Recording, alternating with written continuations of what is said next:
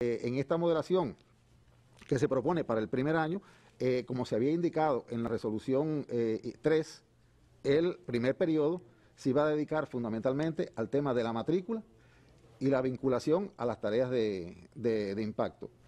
En estas tareas de impacto, yo quería poner un ejemplo muy curioso que planteaba el- el ministro. Por ejemplo, la carrera de Ingeniería en Ciberseguridad, que es única de la UCI, que es una carrera nacional nueva que va a comenzar ahora. Los varones fueron para el servicio militar.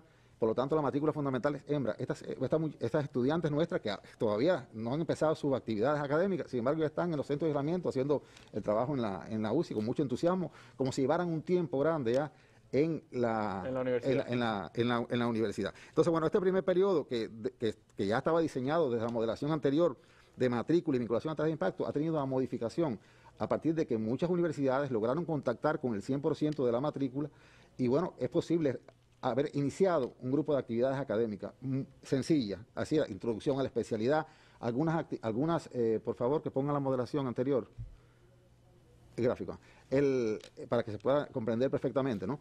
Eh, en este, este proceso de matrícula y vinculación a través de impacto, además, se han iniciado actividades académicas que eh, están, como les decía, con asignaturas de poca complejidad que son posibles hacer de manera factible en, una enseñanza a distancia. Por supuesto, previa preparación de los estudiantes en las vías de acceso a esta, información.